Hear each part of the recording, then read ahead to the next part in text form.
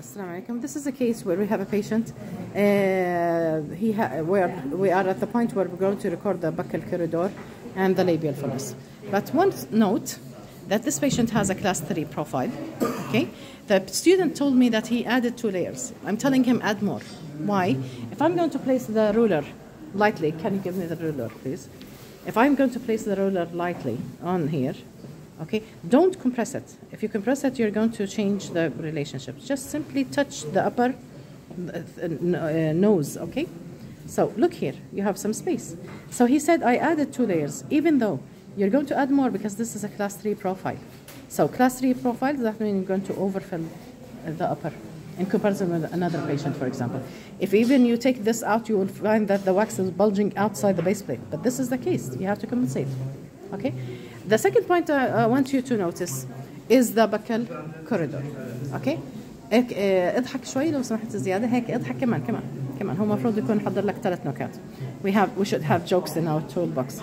So if he smiles like this, you find that the mandibular teeth are uh, are uh, spread buccally. Why? Because the ma- uh, this is class three. The mandible is advanced, so the body of the mandible is closer to the front. That means the wide area of the mandible is closer to the front. What will happen with the teeth? They're wide. Okay. So we have two ways of compensating this. Now I want to اضحك كمان كمان على الآخر على الآخر. one way is that I'm going to keep the buccal corridor and produce a, a reverse reverse bite in the posterior teeth. So the functional cusp will become the buccal of the upper and the lingual of the lower. This is one of the compensations. If I have enough space, if I have a, a, a buccal corridor, buccal to the lower teeth, if I have enough buccal corridor, I will eh, add more wax buccally to the upper teeth and make the correct overjet. But the idea I will not make it edge to edge. Why? Because if I do so, I can intercuspate upper and lower teeth edge to edge almost. But what will happen? You will have a cheek biting. You should have a horizontal overjet between the upper and lower molars to, of, to move the cheek away from the biting plane. Okay? So, this case, what are we going to take? مرة تانية. اضحك على الآخر. Please اضحك اضحك كمان كمان كمان. Notice there is no buccal corridor. if I'm going to change the buccal corridor here and add wax, I will be there will be no, no buccal corridor in the upper. I will be outside the, the ridge. Okay? And what will happen to the maxilla if you're outside the ridge? Look here. What will happen if I'm going to follow this? See how wide the mandible is. See how wide the mandibular teeth are.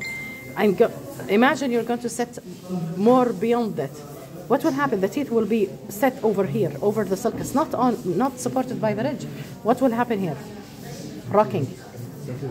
There is no vertical support. What will happen when he bites here? It rocks. It rocks. So he has a small mandible in comparison with a very uh, sorry small maxilla in comparison with a very large mandible. So what are we going to do? We're going to produce the edge, uh, the smile uh, profile with one millimeter overjet over bite anteriorly. Then once we move to the posterior teeth, we're going to shift the upper teeth biting on the reverse bite, meaning that I'm going to bite with the functional cusp being the lower lingual and the upper buccal. Okay, so the teeth will be narrower. This arch will be narrower. This is a beautiful case I wanted to show you on how to decide if I'm going to follow the mandibular lower teeth or not. So my decision here was based on the buccal corridor. The buccal corridor, there is no buccal corridor opposite to the lower teeth. That means the teeth are so wide. If I'm going to follow with the upper uh, as well, going more buccally, I will lose the buccal corridor and I will find my teeth set outside the ridge and setting outside the ridge is not stable and not functional. Uh, you can function for a while but you will get rocking or you will get later on a mid-palatal mid fracture because of the flexure that keeps happening, okay, because it's not supported. Thank you.